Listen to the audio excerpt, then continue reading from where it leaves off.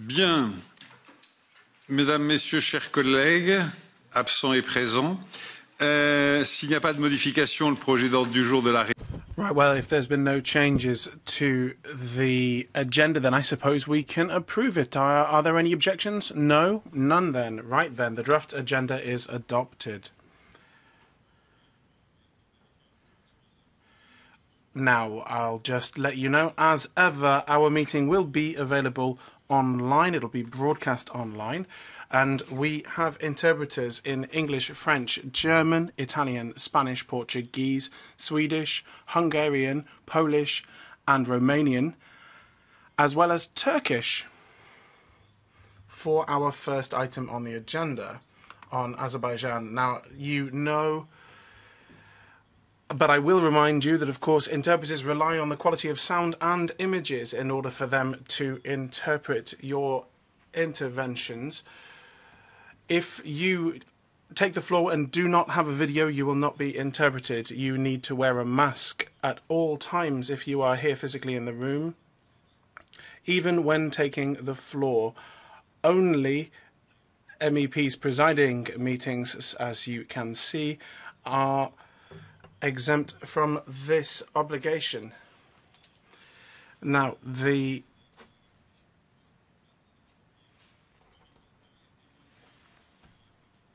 the minutes of the meeting of the 27th of January, as uh, per the rules, have been put online.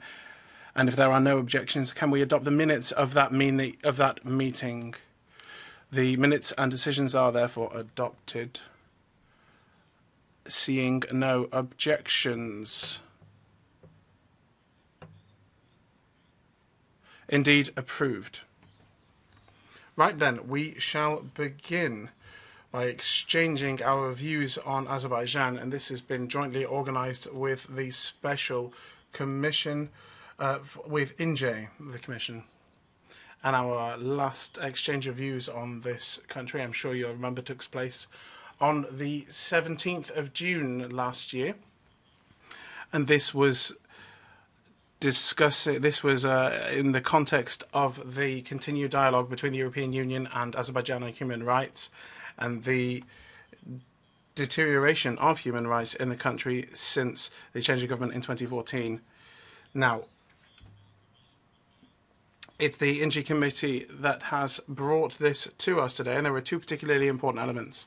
Firstly, the lobbying strategy, and uh, and uh, please excuse the swear word, but corruption, the caviar diplomacy which is being used uh, to butter up uh, Western governments, including European Union governments and international organizations, to buy their approval as well as attacks on dissident voices in Azerbaijan, as with elsewhere in the European uh, on the European continent, and this includes, uh, for example, uh, Mr. Mirzali, who will be taking the floor today.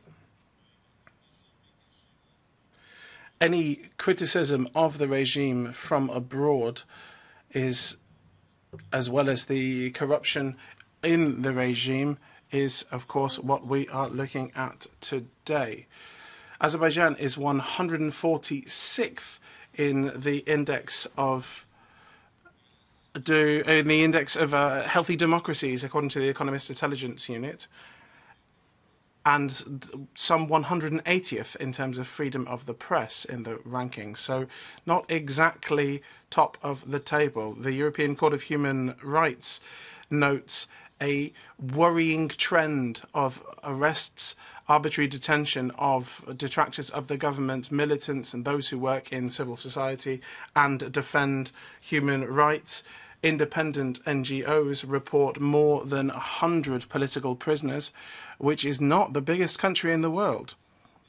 Now, we have four speakers with us today from the External Action Service.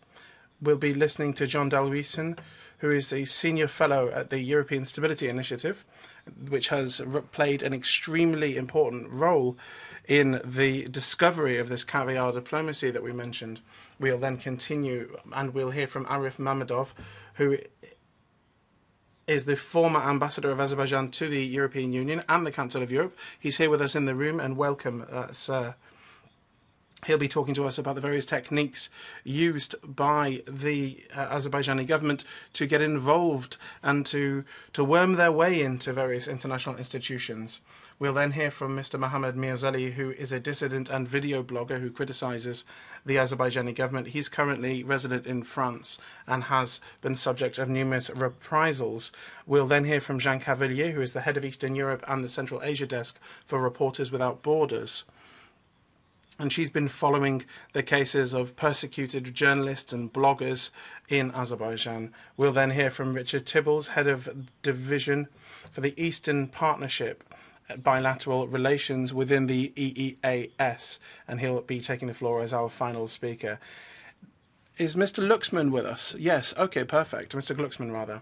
So, before I give the floor to our guests, I would like to welcome the president of the INGE committee, Raphael Glucksmann, who is uh, here with us today virtually and is my co-chair. Raphael, you have the floor.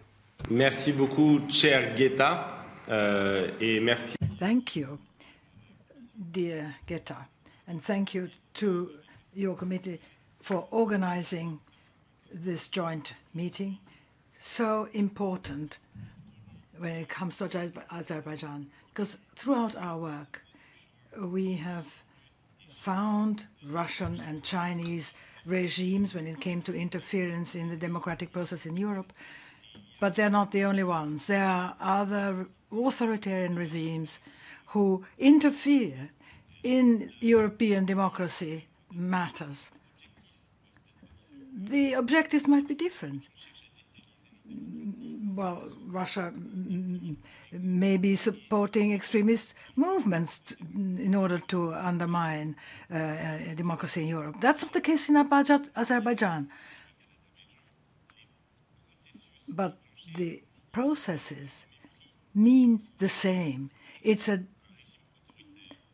disregard of our uh, sovereignty and the high uh, office officials like Mr. Volonte in the Council of Europe, who's been uh, uh, charged with and condemned for corruption. It's not an isolated case, but when they buy dignitaries in Europe, they use even physical inclements, even though those opponents may just be in our territory. But it is an interference. And finally, we need to uh, respond, reply, react to such interference and maintain the dignity of our institutions and our countries.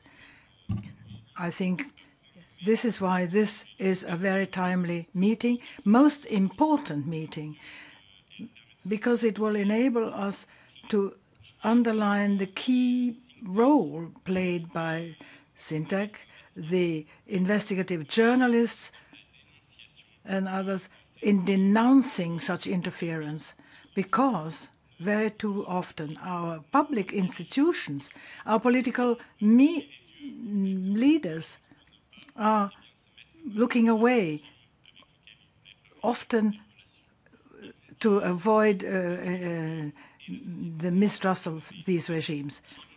Now, we've been able to show up the Baku activities, Baku regime activities. So I really uh, want to thank you for it, but I won't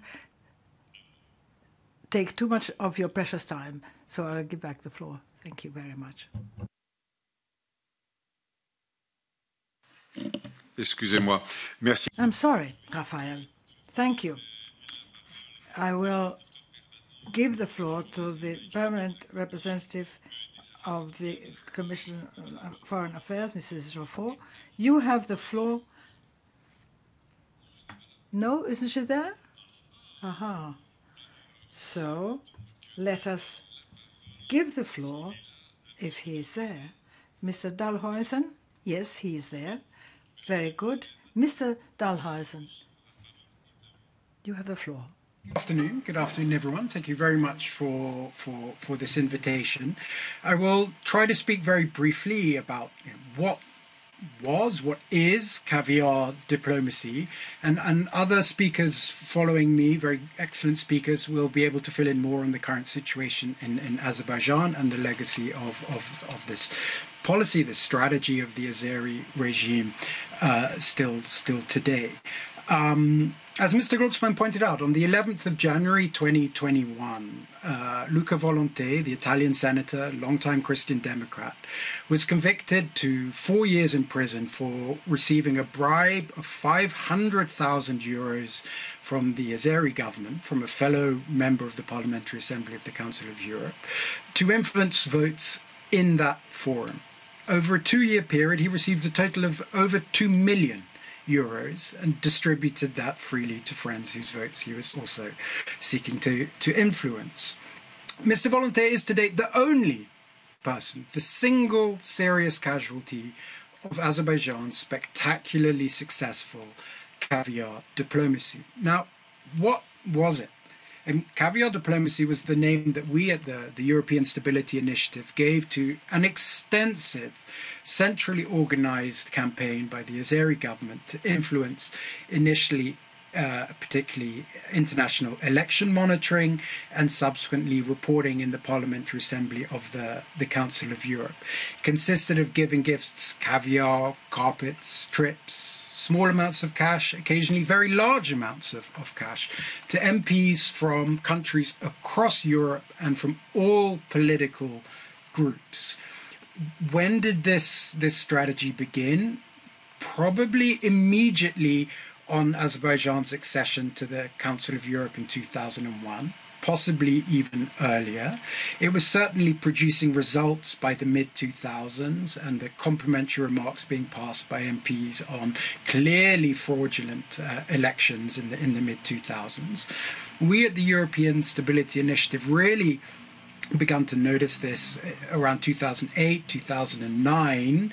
Uh, when we realized the situation in Azerbaijan was clearly deteriorating, and yet international reporting, particularly in the Council of Europe and its Parliamentary Assembly, was painting an ever rosier picture of the situation in, in Azerbaijan. Uh, and h- how could this be so? And that's when we began really scratching around this. I think by 2010, uh, the Azeri government was already very influential within the Parliamentary Assembly. It was able to influence key appointments. It had friends in the chair of the European Parliamentary uh, the the EPP uh, group, uh, Luca Volonté, uh, Jordi Xuclà, the, the Spanish Liberal, was chair of the Liberal group. And in 2010, it secured the appointments of, of the rapporteurs on, on Azerbaijan Pedro Agramunt, the Spanish senator from the Partido Popular, and, and Josep Grech, a Maltese uh, Labour Party uh, MP.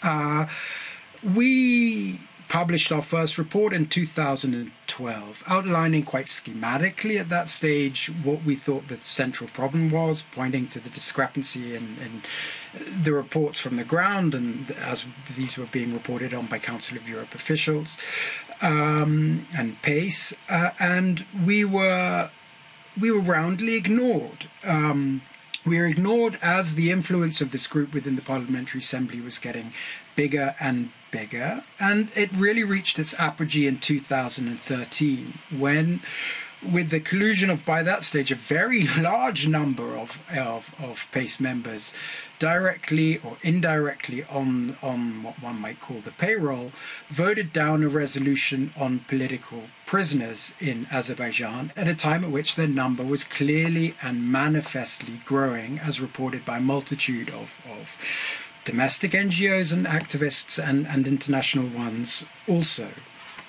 Uh, we then published a second report in November 2016, and thanks largely to the the political activism of a very small group initially of of PACE members, uh, bringing this to, to, to, to, light, taking up our concerns. The Parliamentary Assembly commissioned uh, an investigation in April 2017. Uh, the president of the Parliamentary Assembly, by that time Mr. Agramunt himself, was forced to resign. Uh, and in in April in um, April 2018, the independent investigation published a report that largely echoed our our findings. The reaction, however, was was mild to say the least. 13 former Parliamentary Assembly members were barred from ever entering the Council of Europe again. Four existing ones had their, their rights to participate in Parliamentary Assembly procedures somewhat limited. A new code of conduct was adopted, much improved. There were zero consequences for the Azeri delegation as a whole. Um, and as I alluded to earlier, very few consequences for, for MPs implicated in the in the scandal. Uh, some investigations in Belgium, but promptly dropped. None in Spain, none in the UK, none in France, none in Malta, none in many other countries where the finger of suspicion lay heavily on a number of MPs. Um, in the mid 2020s, some more serious investigations are still ongoing against some three, in particular, three German MPs, where, where the, the scandal got some traction, albeit in a very delayed manner. Uh, but more broadly, uh, and at the level of the, the, states represented at the Council of Europe, after all, its ultimate gardeners, Azerbaijan faced zero consequence, zero consequence at all. Uh, and then, you know, the question is, well, how did this happen? Uh, uh and I think there are basically two answers. One is the general indifference of, of capitals, even political parties nationally to events in Strasbourg and the activities of often relatively minor MPs when they're often at jolly to Baku or, or Strasbourg. Um, the second is a more significant factor, which is the, the geopolitical calculation, the geopolitical strategy that the older Council of Member Europe states pursued in relation to the newer uh, former Soviet countries, Russia, obviously, Azerbaijan also, which was one of better in than out. So the warm embrace of the Council of Europe, its standards, its mechanism, the education it had to offer, would result progressively in the raising of standards in these countries. So the narrative that the Azerbaijani sympathizers were peddling of slow, gradual improvement was one that fell on fertile political ground. Uh, and no one was then scratching behind the chronic dissonance between that rhetoric and the reality underneath, because it was a rhetoric that a wider political establishment wanted to hear. Uh, we've seen this logic manifest itself again in relation to, to Russia following its withdrawal from the Parliamentary Assembly after its annexation of Crimea, when the Parliamentary Assembly briefly suspended its right to, to vote. Uh, and then proceeded to invite it back at the price of foregoing its own powers of sanctions forever in the future so that Russia might might return. What is the legacy, therefore, of, of this attitude and the caviar diplomacy scandal more generally?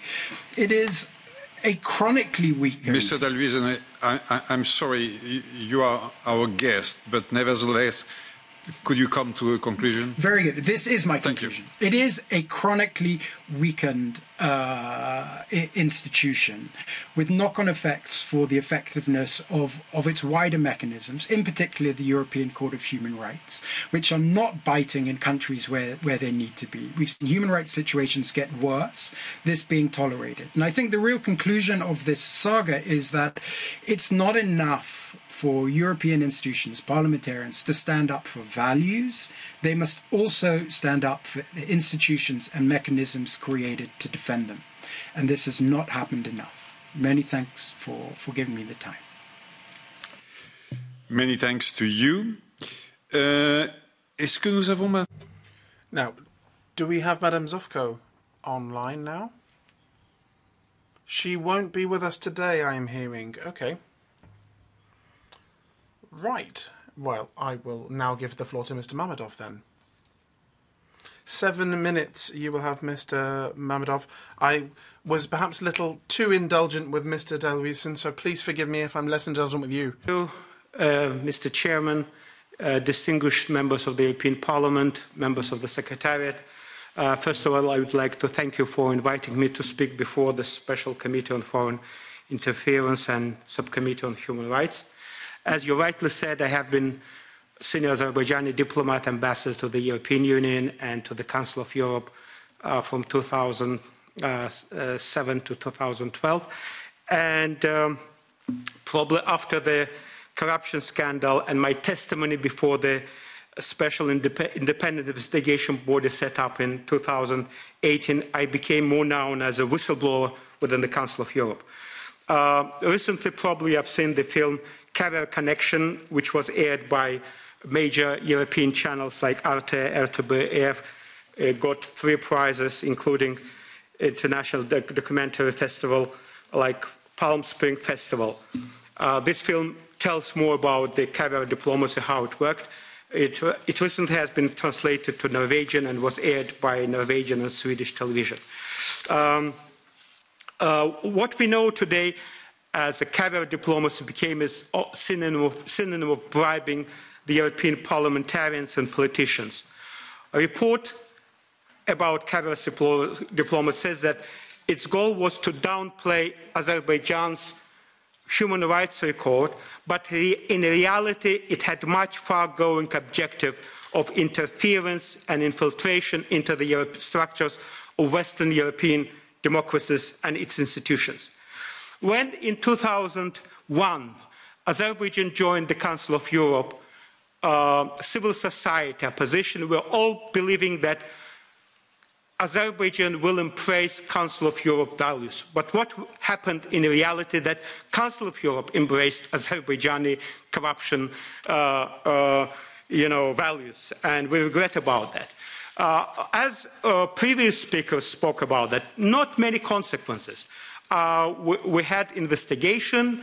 There are, uh, as, as previous speaker said, that Luca Volonté was punished, but not much. Some deputies lost their jobs, but with their uh, full pockets of money and accounts, uh, but uh, no serious consequence. I personally attended the court of Mr. Luca Volonté in Milan court, and I knew from the police, I saw half of the uh, court hall was full of defenders of Mr. Luca Volonté, and I said who these people are. They, they said that they are uh, um, defenders, lawyers, of Luca Volonté, but they are paid, we know that they are paid by Azerbaijani government. Can you imagine? Yeah. Uh, this is the reality. Um, uh, probably, probably this was the most outrageous interference into the pan-European institution like the Council of Europe. Until now, we see that still uh, Council of Europe hasn't restored itself, uh, and we see the same the same people coming to the same building. We have the same heads of delegation of Azerbaijan. Most of the members are the same, uh, uh, Russian delegation, and etc., etc. Just recently, you know that in UK, National Crime Agency found out that Mr. Feyziyev, uh, a serving member of the Azerbaijani par parliament and co-chair of EU-Azerbaijan Parliamentarian Cooperation Committee, brought millions of pounds of illicit wealth into the UK via Laundromat. He is co-chair of EU-Azerbaijan Parliamentary Committee. Uh, the court on Monday ordered that uh, Javanshir Feyziyev and his family uh, forfeit 5.63 million pounds held in various bank accounts uh, after ruling the fund arise from the criminal conduct and money laundering. Uh, um, what uh, struck me the first, why I was outrageous, when I was representing regime of Azerbaijan at the Council of Europe, all the doors were open. I was received with a red carpet. Everybody was happy to see me. Mr. Ambassador, you are welcome. You are... After I started speaking about corruption, after I started speaking about these schemes about dirty money laundered, uh, I became uh, uh, almost persona non grata. Nobody wanted to meet me. I was, uh, uh, uh, I, I was seeing people who were happy to see me. They, they were turning around and, and uh, trying to avoid meeting me. When it was Azerbaijani government officials, it was understandable. But when people in the secretariat of the Council of Europe, when people who I knew for six, seven years, I was chair of the third most important uh, uh, group in the Council of Europe. I was chairing many important meetings. And, and I was surprised why pan-European democracy institution is so angry that I started speaking about that. And, and I thank the European Stability Initiative for uh, this report in 2012. Probably without this report, all this story wouldn't have started. Uh, well, also, uh, we see uh, these uh, examples, no, not only Luca Volonté, we, we saw uh, the big scandal in Malta. Daphne Galizia, she was killed, and, and the killers apparently have connection with state oil company, uh, Azerbaijani state oil company, and there's still investigation onto, into the death of uh, uh, uh, uh Madame uh, Daphne Galizia is still going on. But there are serious doubts that uh, her uh, killing was also ordered by, uh, by some circles uh, and not excluded that from Azerbaijan because she was investigating this Pilatus Bank scandal uh, when uh, billions of money were laundered through a bank in Malta. Malta uh, uh was, uh, you know, buying SOCAR gas for higher price than from any other suppliers. And there was huge scandal, you know, involving uh, family members of uh, Joseph uh, Muscat and his uh, cabinet members, uh, ministers, etc., etc. And today, what has changed? Nothing has changed. Uh, unfortunately, Euro European Commission and European External Action Service delegation in Azerbaijan they close the blind eye uh, to, to, what is happening in Azerbaijan, arrests, uh, beating of opposition uh, uh, uh members, tortures, tortures in Azerbaijan. this dirty money was playing a role in many, many other things in, in, Azerbaijan. We have recently seen a visit of uh, Commissioner for Enlargement uh, to, to, Azerbaijan. We, we, are happy to see uh, European uh, uh, you know, officials to Azerbaijan because we want uh, relations with Europe. But unfortunately, we don't see, and she promised 2 billion investment or money to Azerbaijan, while uh, scandal found out that there were 3 billion uh, money laundered in, in, in, Europe. And now uh, uh, European Union will provide another 2 billion so that they are laundered and, and go back to some European officials. Uh, also, just the last, uh, last word. Also, we see that these corrupt regimes work with each other. They use the same schemes, the same banks, like Russia, Azerbaijan, Kazakhstan, and some other countries.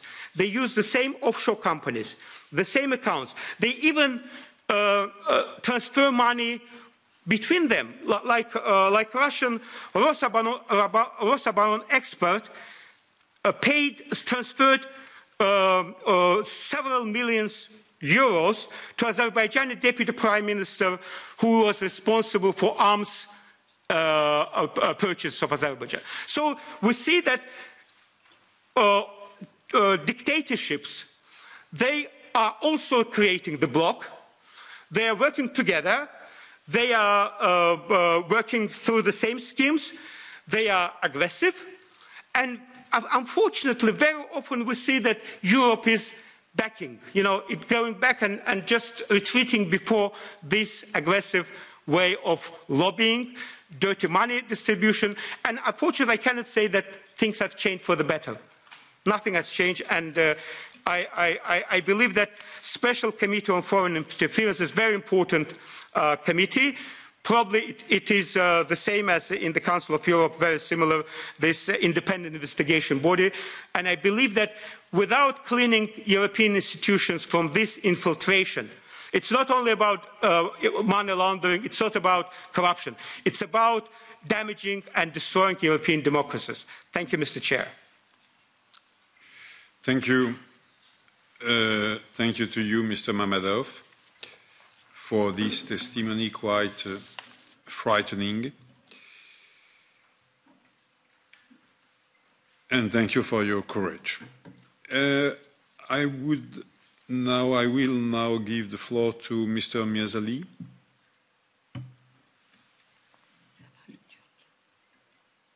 Is he with us or not? Is he? Önce, Yes. öncelikle ben hazır. Oui. Mr. Mirzali, I believe you'll be speaking. Yes. Okay, perfect. Öncelikle First of all, I would like to thank you for inviting me to speak here. Ladies and gentlemen, Aliyev regime has become even more aggressive and cruel. Beforehand, Aliyev was oppressive inside the country, but now it is uh, targeting other opponents in other parts of the world. I am a dissident. Uh, my name is Mahammad Mirzali, and um, the Azerbaijani regime is targeting us, tar- targeting me, even though I'm not living in Azerbaijan. Aliyev's spies demand me to shut down, and they are uh, blackmailing my sister using her obscene uh, pictures. Now, um my sister and her daughter are living in Georgia, the neighboring country to Azerbaijan, but unfortunately, Georgia is not a safe country for uh, refugees from Azerbaijan. Georgia is very dangerous for people of Azerbaijan. There, there was recently a case when an Azerbaijani official who uh, sought a refuge in Georgia was kidnapped. I would like to ask you to help me bring my sister to France, where I live right now. Uh, my family and I are in dire straits. And, there was another famous Azerbaijani dissident who was blackmailed using his uh, obscene videos. He was also demanded to shut down. Uh, the EU announced that uh, they are going to give 2 uh, euros to Azerbaijan for investments. But please ask yourself, will, will Azerbaijani government spend these 2 billion euros for the benefit of the Azerbaijani people? At least half of uh, this money will go to the pockets of government officials in Azerbaijan who is going to check uh, the transparency of how this money is going to be spent? Azerbaijan and Azerbaijani government uh, spent, uh, excuse me, made 160 million euros in gas and oil revenues recently, and the government has been using half of this money single-handedly. Um, dissidents in Azerbaijan are imprisoned, they are tortured, uh, and there is a culture of impunity uh, in Azerbaijan. The Azerbaijani uh, constitution is in direct conflict with the values of Europe, and the recent uh, amendment to the law on press freedoms is also completely against European values.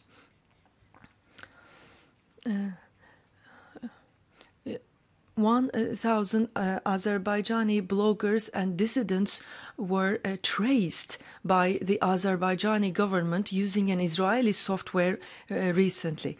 Uh, unfortunately, these uh, crackdown on Azerbaijani dissidents uh, are uh, being uh, discussed at the Council of Europe level now, but no concrete outcome is being achieved. And you you will also uh, you, you're also aware of the uh, Defne Mazagi uh, uh, assassination, which has uh, apparently links with some uh, Azerbaijani state-owned uh, companies.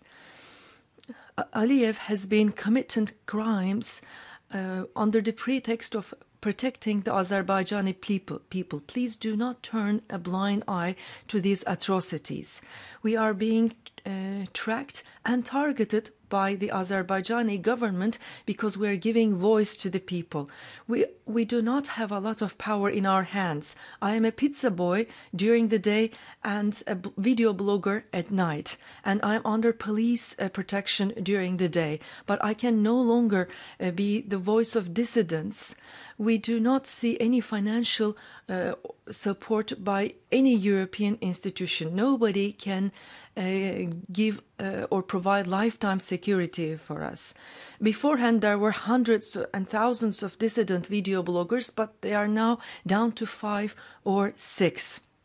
Please do not extend 2 billion euros of investment aid to Azerbaijan. European Union uh, External Action uh, Service uh, gave financial support to was planning to give serious financial support to civil society in Azerbaijan. Please encourage European External Action Service to extend that support to the civil society of Azerbaijan rather than its government. Civil society in Azerbaijan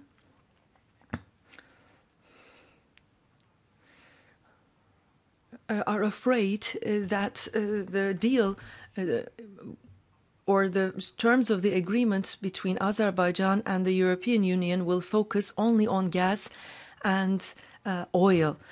Uh, we would like the European Union to focus not only on gas and oil, but also on freedom of expression and fundamental rights in Azerbaijan. Uh, only very recently, uh, a few dissident voices in Azerbaijan were uh, sentenced to imprisonment uh, for freedom uh, of expression. If you have any questions, I will be more than glad to address them.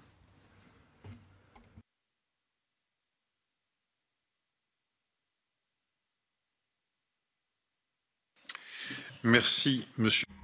Thank you, Mr. Mirzali, for that very particular, uh, pic- terribly uh, difficult picture of the situation. Uh, now I'd like to give the floor to Mrs. Cavelier, who is the uh, representative of the Eastern European and Asian Office of uh, Reporters Without Borders. Good afternoon. Thank you very much. Now, as you know, Azerbaijan is in the 167th out of 180 countries in the classification of freedom of the press in throughout the world established by RSF. All the independent uh, newspapers are blocked and the work of uh, journalists are undermined and they can be arrested for absurd reasons where they risk being tortured. They're subject to threats, blackmail and violence. Justice is under is submitted to the power, and there's total impunity for crimes committed against journalists. Uh, for example, Adman Osmanov, who was shot to death 16 years ago for their remarks against corruptions, and the authorities are even trying to extend their control over the information area when we see the amendments to the law of the media adopted by their parliament on the 30th of December. Because of all this harassment and risk for their lives, most of the independent German journalists and opposition speakers have been forced to leave their country throughout the last 10 years, and many found refuge in Europe. Unfortunately, the authoritarian president Ilham Aliyev is exporting his passion against freedom of the press beyond the Azerbaijan borders. The wild attack that Mahammad Mirzali was a victim of right in Nantes in France is a proof of this.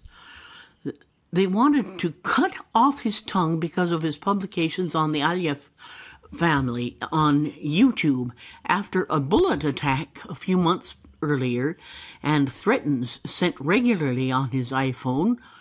Uh, he and he under suffered huge attacks of violence, but he is not the only one. Some of these aggressions and attacks are coordinated. For example, on January 29th, 2020, there was a video blogger, Camille Madadov, in Germany, was beat up and stabbed by several strangers who poured tear gas all over him.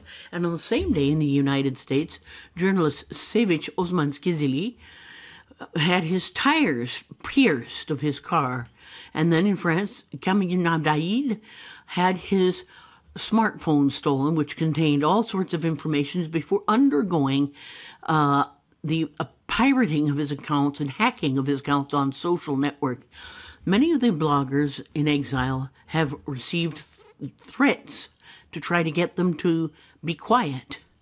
And when that doesn't work, for example, they are denigrated in public media. Journalists in exile are presented as traitors, and even pro government members listen to private conversations and private photographs from their telephones, and they are illegally being monitored by the member states. Sevinj Osmanqizi was also a victim of blackmail on the sex tape, which is a weapon used mainly against women, female journalists, or women who are close to those female journalists, and even to try to hit the families.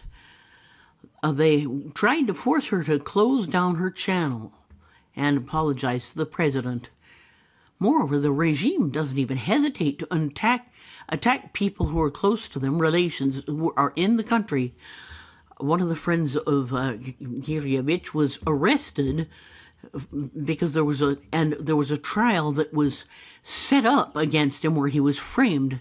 Turk, living in the Netherlands, underwent the same type of pres, pressure, and then Taizir in uh, Berlin.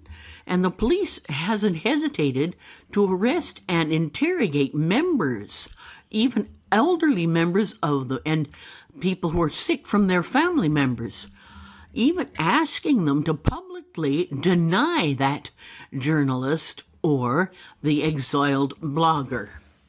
Uh, in addition to judicial production, persecution, they use their time and resources. Once the resources are actually forced their country of exile to uh, investigate them and put them on the red list for Interpol uh, the Azeri authorities don't even hesitate to ask for extraditions.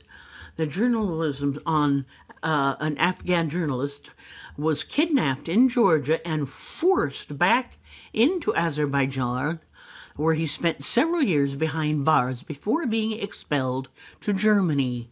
Now, all of these regular attacks targeting journalists trying to intim- intimidate independent journalists or any other channel that criticizes the country is against all of Azerbaijan's international obligations. The European authorities should end this cult for impunity and try to defend independent media.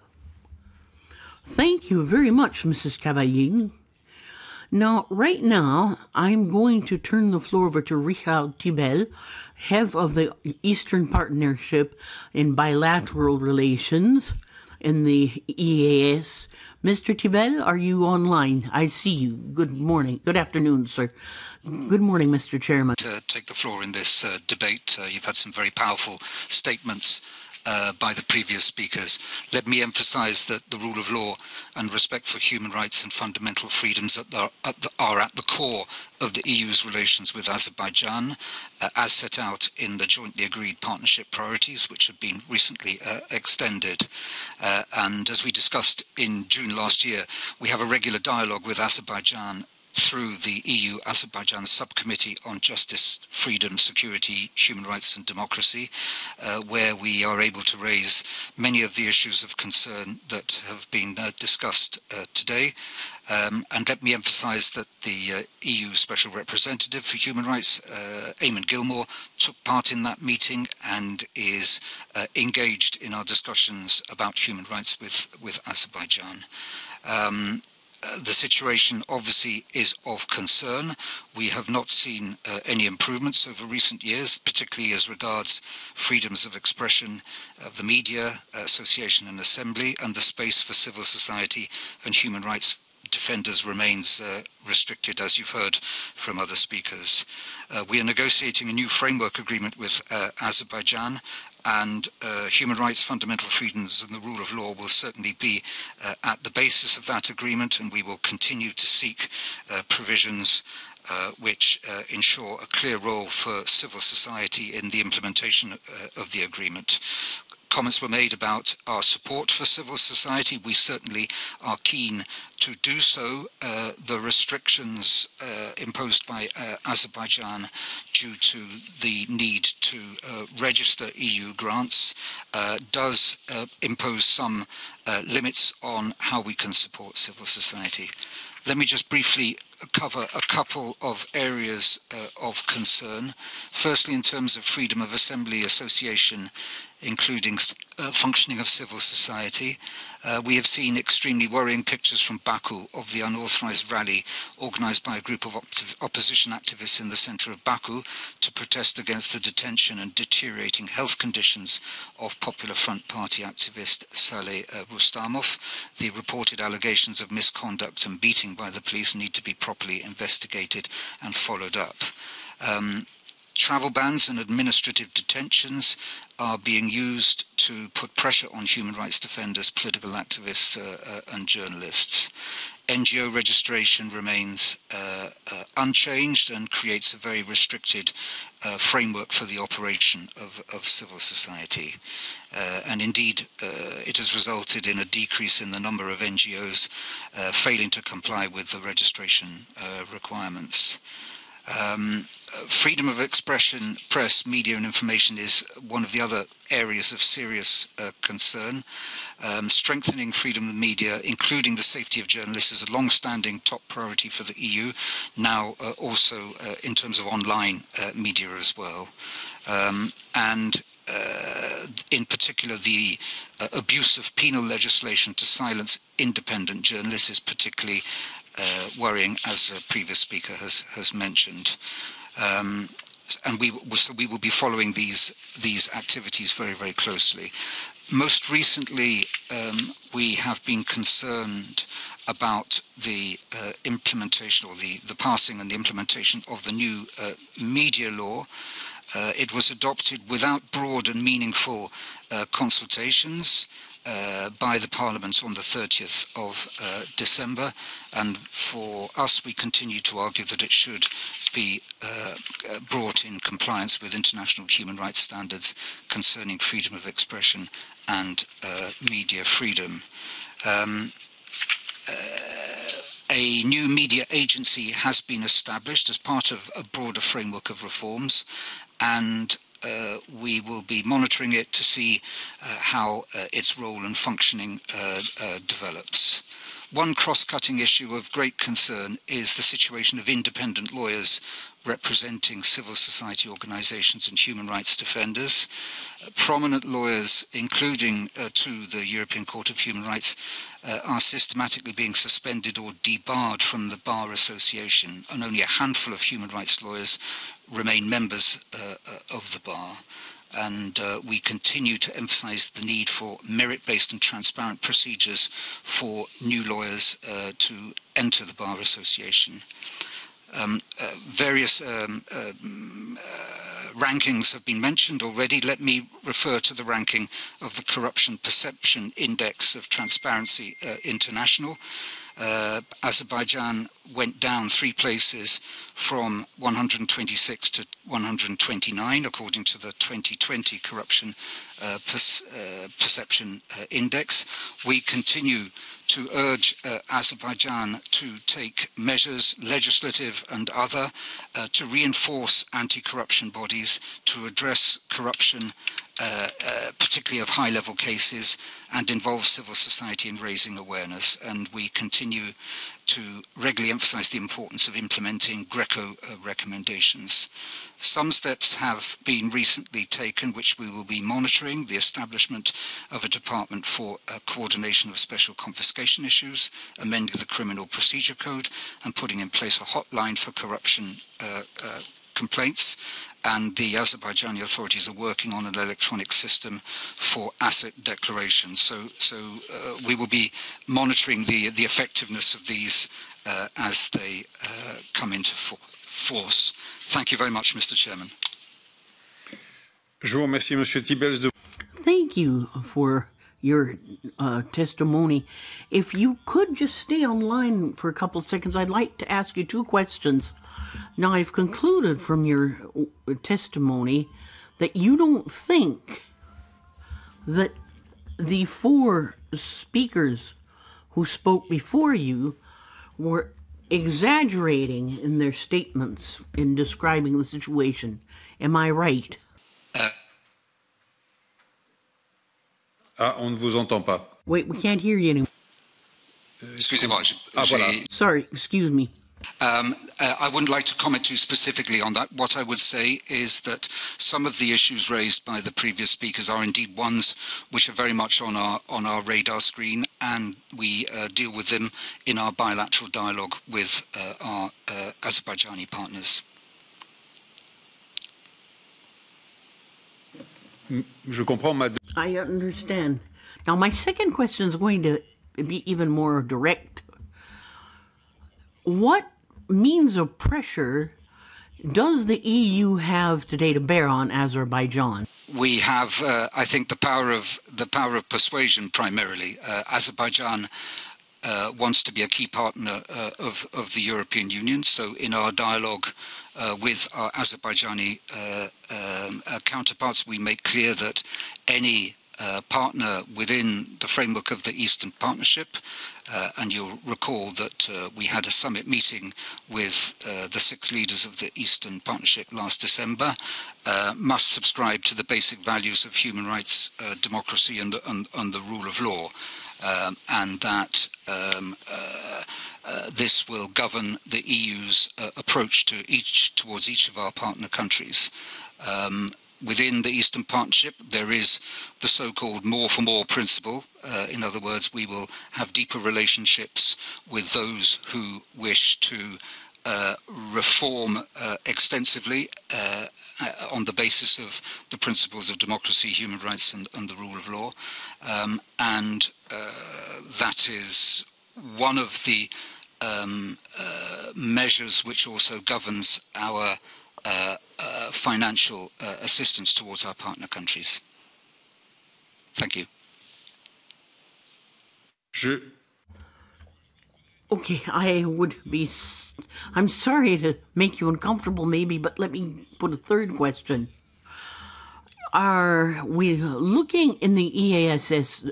Are you looking into the possibility to maybe no longer consider Azerbaijan, as a member of the Eastern Partnership? Are you contemplating that? I uh, I think the, the the approach that our summit leaders, uh, that our heads of state and government adopted in December, was to uh, maintain the Eastern Partnership as a grouping of six partner countries with uh, the EU and its uh, member states, um, but to make clear that uh, the EU would be following an approach of differentiation according to uh, our um, uh, consideration uh, of a wide number of factors, including the partner countries' uh, commitments to uh, democracy, human rights, and the rule of law. So, in a nutshell, um, Azerbaijan is very much within the Eastern Partnership, but uh, those fundamental principles are certainly an important part of how we conduct our relations with uh, our partner, uh, our partner countries. bien. Je vous Okay, thank you, Mr. Tibbels. I hope that you're not upset with me uh, for raising these additional questions. Thank you for it. Now, I'm going to give the floor to the me- people who've uh, requested the floor from the different groups. We're going to start out by our colleague, uh, from the EPP. That is, yes, the EPP.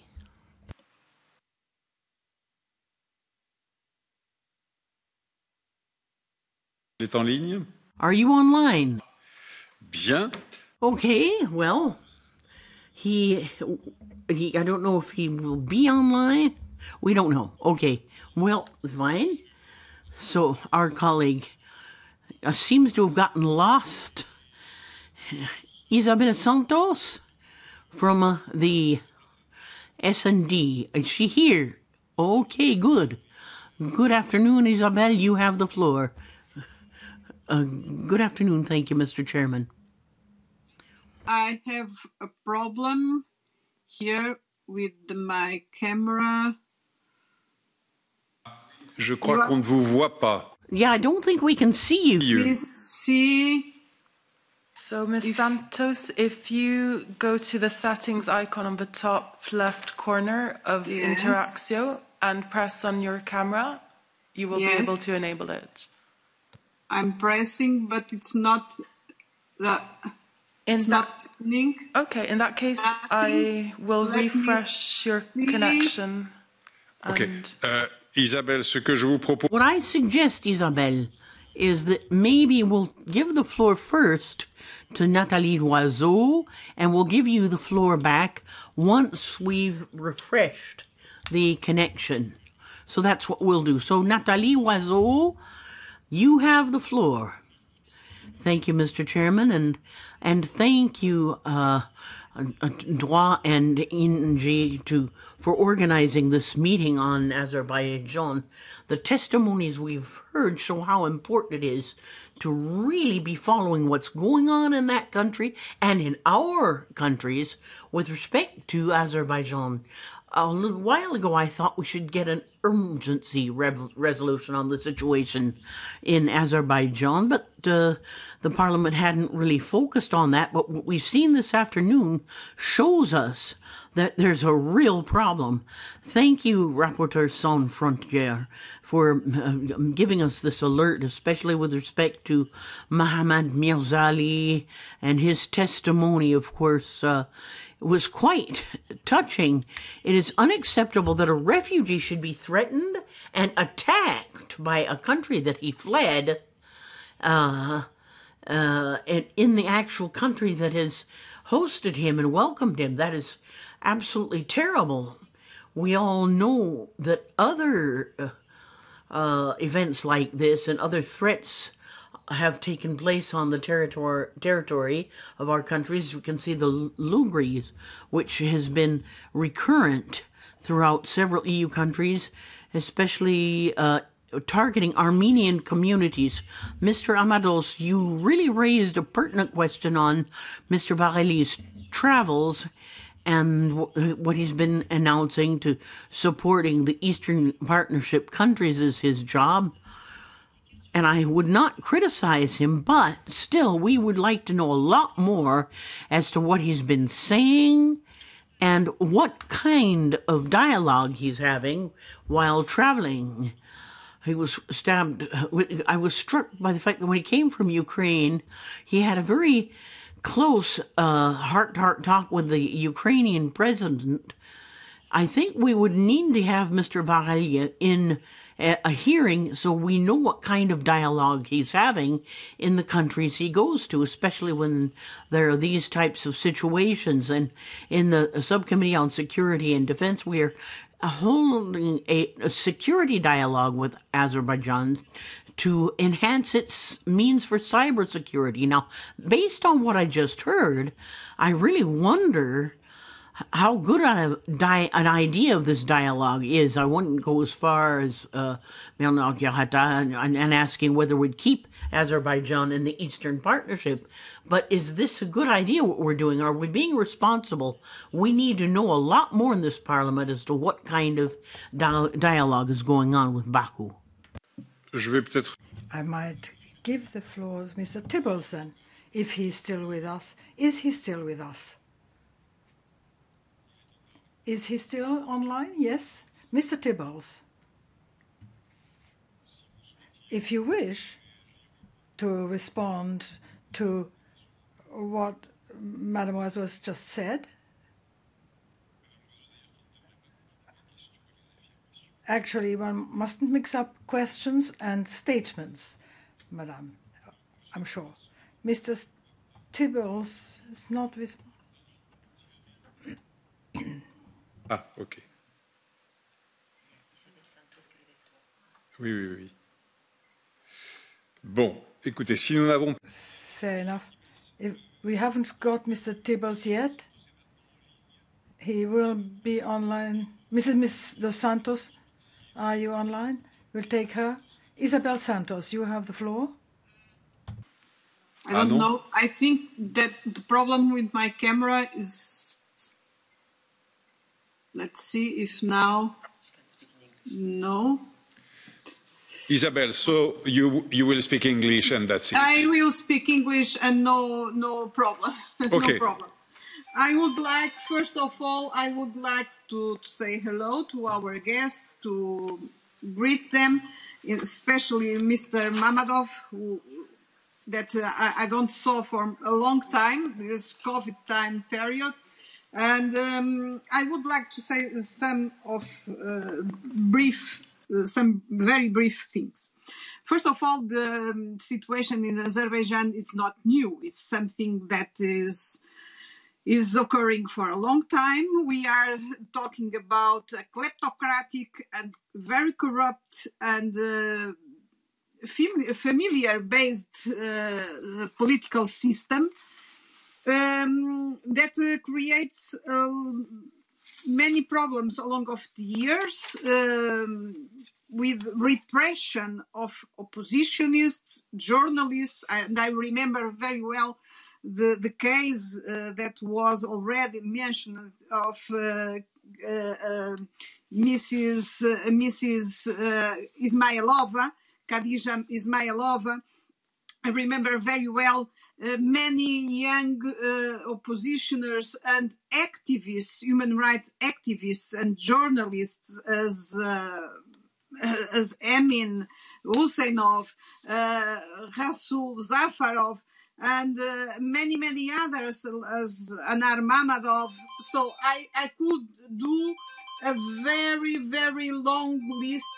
Is some someone is trying to call me from the services? Please stop because I'm talking. It, uh, it's not uh, it's not feasible. So. Um, I could be uh, talking about a, ve- a, very, very long list of people that was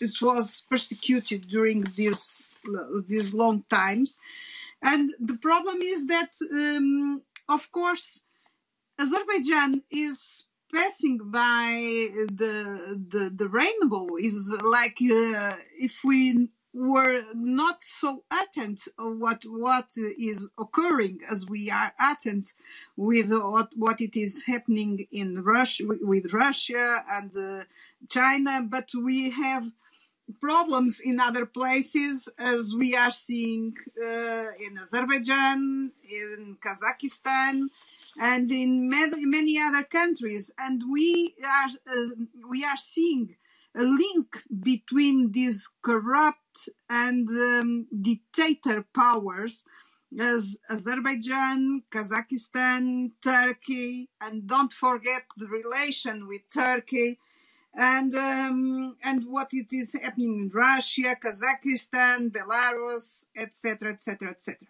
So the problem is that very corrupt powers are corrupting European powers and uh, are persecuting people that is fighting for freedom. And we are not doing what we needed to do. And in order to, to do what we need to do I would like to ask to have the delegation, the EU delegation in in, in Azerbaijan, coming to uh, next meeting and giving to us uh, an overview about what they are doing in the country and what is their dialogue with the country. What is the dialogue of you delegation with uh, Azerbaijan authorities? what they are doing in the country, who they are supporting, the civil society, what kind of civil society? Those that are associations, NGOs that are supported by the regime, or those that are independent and are talking, uh, asking for freedom of expression of freedom of assembly. I would like to know this. The other thing that I would uh, Isabel, like... excuse me, but could you come to the conclusion now? Yes, I will conclude in two in two minutes. The other thing that I would like to to two to seconds, know, please, not two minutes. Is what, two seconds, of course. It's what is this dialogue between Mr. Várhelyi and Mr. Aliyev? and the, the very interesting um, interesting between comma um, this interesting visit of Commissioner Kadri Simson uh, a few days ago to Azerbaijan and the dialogue that she had with uh, Mr. Aliyev. I would like to know what, what uh, commissioners and officials from you are doing the, in these dialogues and what style of dialogues they, they are having with the Azerbaijan So, authorities. your point. I'm sorry. So- Euh, Monsieur Tibel, c'est en ligne maintenant Mr. Tibbels online now? Is he with us again? Yes, I'm still online. Would you like to respond to this, to, to what Nathalie Loiseau said? See, there's a possibility to ask, ask, her, ask her questions as well, but uh, I take note of her intervention. OK. Merci, monsieur. Thank you, sir. Mr. Mamadov, did you wish to come in at this stage? Just very shortly to what Isabel Santos uh, said about EU delegation. EU delegation in Azerbaijan is almost not, not existent. Uh, no meetings with opposition, no statements on the arrest of uh, people, not, not any statement on beating of the people. We see State Department resolution uh, uh, statements, UK government, EU is not existent almost. It, this is very deplorable. Uh, EU, even on European Day, EU invites government corrupt ministers. Opposition is not invited. Uh, recently, uh, Isabel said about visit of two commissioners, Simson and Commissioner Oliver uh, Várhelyi. They, I saw in their Twitter account that we had productive meeting with NGOs. Meeting with, it was government, Gongo NGOs, government organized NGOs who are paid by the government and they don't meet with uh, prominent opposition uh, uh, uh, journalists, they don't meet with civil society, only government sponsored people.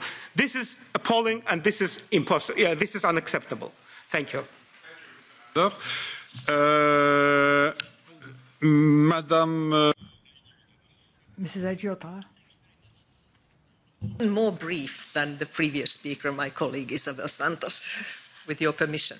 Now, um, on parliamentary diplomacy, I've been quite involved because I was co president of the Euronest Parliamentary Assembly and um, I was sent to Bakum to sort out um, a conflict that we had uh, uh, created with Aliyev because Aliyev did not accept the resolution that the European Parliament adopted on the 10th of September 2015, which listed a number of political prisoners and all kinds of issues that we as Parliament wanted to raise uh, with a view to the human rights situation. So uh, he, there we were in his palace. Uh, he was lecturing to us for one hour uh, in a detailed way, commenting on the resolution of the European Parliament in a live TV screening. So uh, after that, things didn't really improve very much. But um, um, as they had um, left the Euronest Parliamentary Assembly, they then gracefully decided to join again after some time.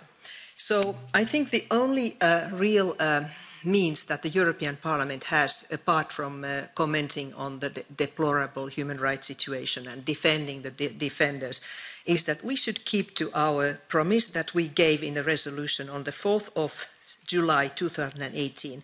The Parliament said it will not ratify the new strategic partnership agreement if the human rights situation is not improving. And I think we have heard it also from our diplomats that it has only worsened. So I think we have to be attentive of this new generation of, of agreement that is in the making. So that's my first point. So um, we don't only have power of persuasion, as uh, Mr. Tibbels, but we do have the power of ratification and non-ratification. So let's think about that. Second, um, I'm, I don't think I'm really shocked because it was never beyond my imagination that uh, Mr. Javanshir Feyziyev, the co-chair of the European Parliament's uh, delegation with Azerbaijan, has now been, as uh, Mr. Mamadov mentioned, uh, now uh, the um, National Crime Agency uh, of the UK on the 31st of January 2022 has uh, found overwhelming evidence that he was uh, uh channeling uh, 5.6 million pounds to different uh, shell companies from bank accounts from Estonia and Latvia. And uh, these companies were entirely fictitious, according to the uh, National Crime Agency, and they were there to mask money laundering. So, colleagues, I think uh, now we have a little bit of an idea how the laundromat of Azerbaijan functions, and we have to take very serious uh, attention to this. Um, I also want to mention that, well, it's a pity that we don't have an EPP colleague to speak, not even the standing rapporteur, because most of the politicians that have been discovered enjoying the benefits of these uh, secret accounts and money laundering as um, a gift um, against the, the, services that they gave to Aliyev's regime are from EPP party. One example, and then I close. Um, in 2016, there was a constitutional referendum in Azerbaijan which consolidated the power of Aliyev family. Uh, among others, made vice, uh, his uh, wife uh, the first vice president.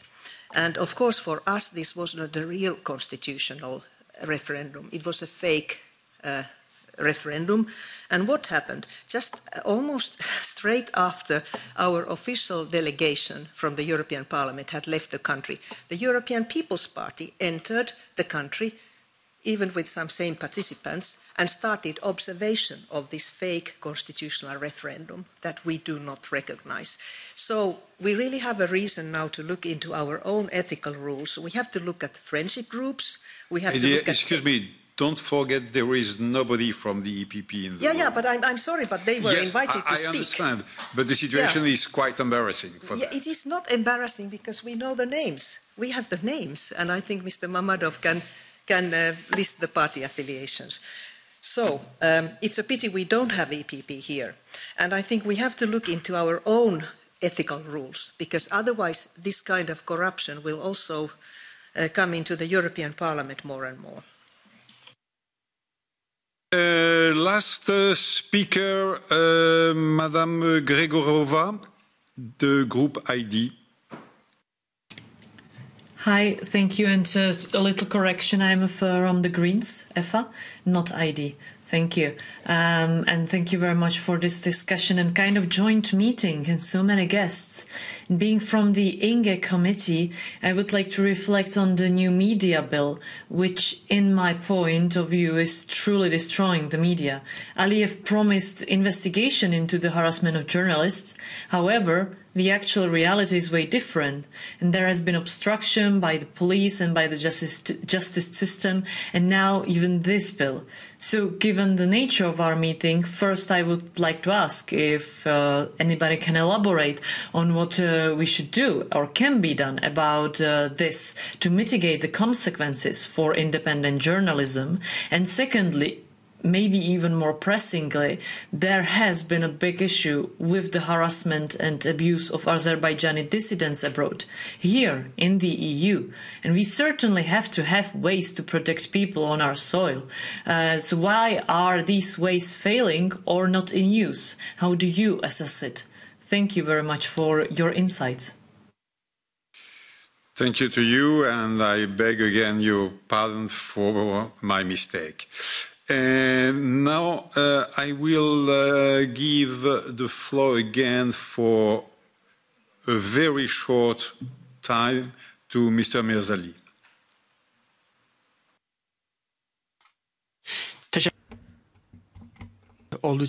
Thank you very much for giving me the floor again. Uh, well, of course, I think uh, uh, European uh, Parliament uh, should not cut, uh, cut, ties with the Azerbaijan, but should um, uh, improve dialogue.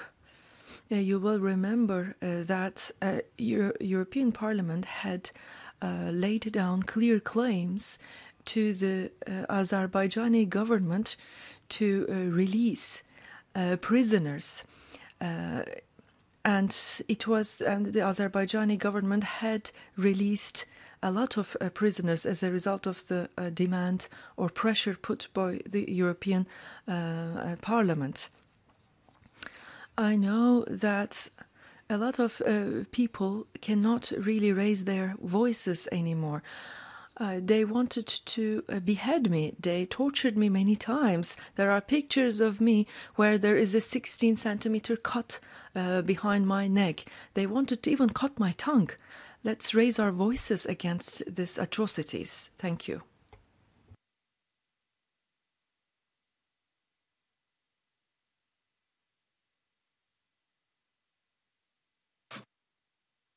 Parole à Raphaël Glucksmann un- pour deux minutes, pour un maximum, Raphaël, de deux minutes.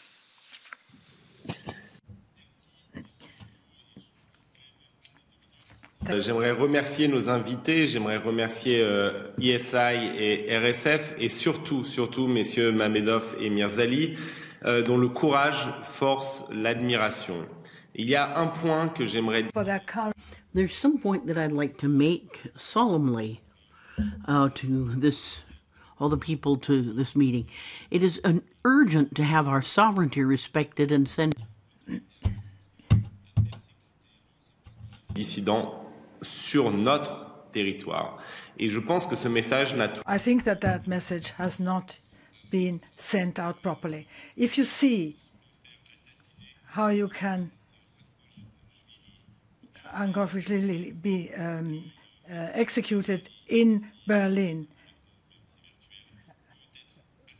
I'm sure that this violence at the very uh, heart of France and we've seen, of course, in China, Uyghurs who are uh, terrorized.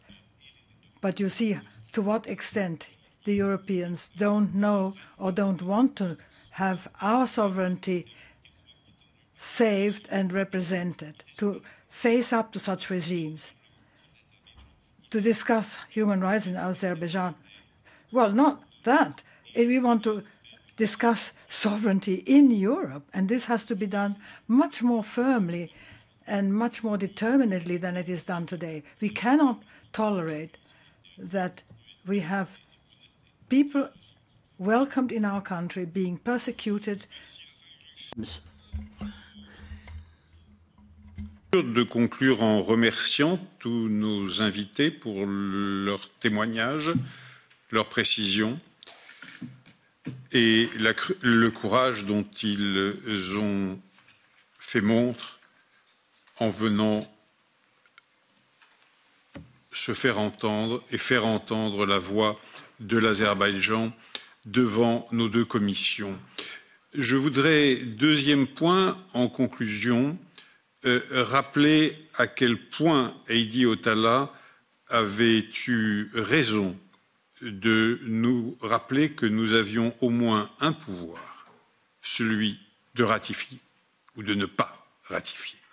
Je vous remercie.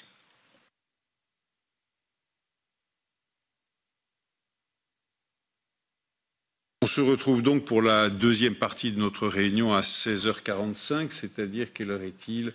Ben, Écoutez, dans une vingtaine de minutes, dans une grosse vingtaine de minutes. Merci à tous.